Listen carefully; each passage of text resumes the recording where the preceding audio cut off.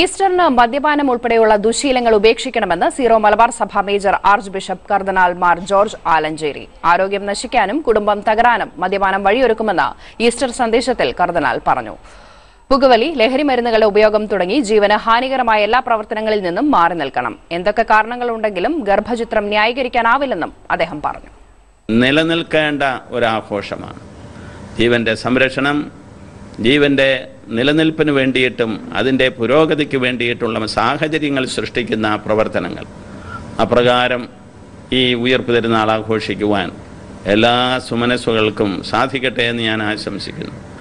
എന്നെ ശ്രവിക്കുന്ന ഈ എല്ലാ പ്രേക്ഷകർക്കും യേശുവിന്റെ ഉയർപ്പ് തിരുനാളിന്റെ മംഗളങ്ങൾ സ്നേഹപൂർവം ആശംസിക്കുന്നു.